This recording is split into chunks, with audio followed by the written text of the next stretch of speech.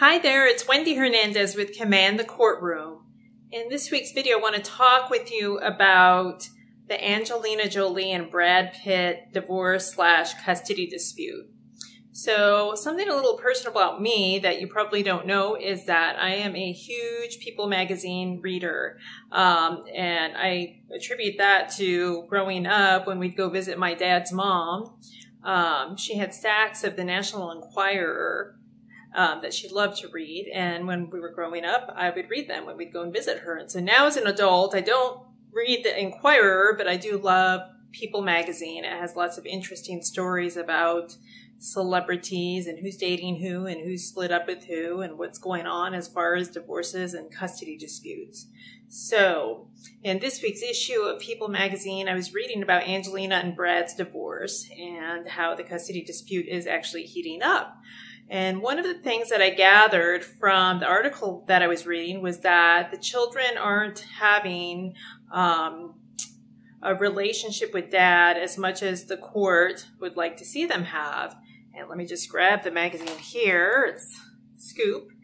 And I'll just read from it. it says the June 6 court papers obtained by People state that the children not having a relationship with their father is harmful to them and that Jolie could be even be in danger of losing full custody if the minor children remain closed down to their father. So I don't know anything about the case um, except that they're splitting up, they're fighting over kids, and what I read in People magazine. But it just kind of wanted me to talk to you for a minute about giving the other parent frequent and meaningful continuing contact with your children as you go through your custody case. Now, assuming there are no um, serious issues that would put your children in danger by having contact with the other parent, it's in your interest to promote the kids' contact with the other parent and facilitate it and encourage it. Because I have seen in many cases where one parent is actually doing quite the opposite. They're discouraging the children's relationship with the other parent. They're withholding the, chil- the, the children from the other parent. Um, you know, they're not getting the, kill- the kids in a mental state to go with the other parent when it's the other parent's time. And I've seen it backfire. People think that by withholding the children, they're gaining something, but in the end, they could be losing something.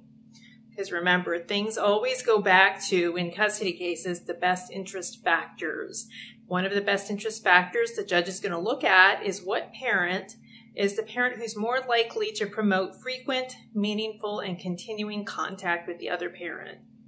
So, what People magazine seems to imply that the court papers are saying is that in some way Angelina Jolie is not the parent who's promoting frequent and meaningful and continuing contact with the other parent. And because of that, she could be putting her own custody situation with the children in danger.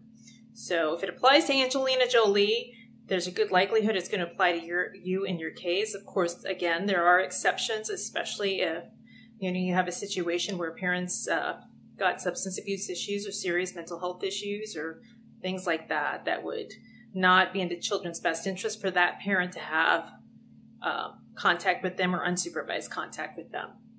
So, hope that helped. If you like this video, give it a thumbs up. Remember to subscribe on YouTube, like us on Facebook. Keep on trucking, and until next week, remember to command the courtroom.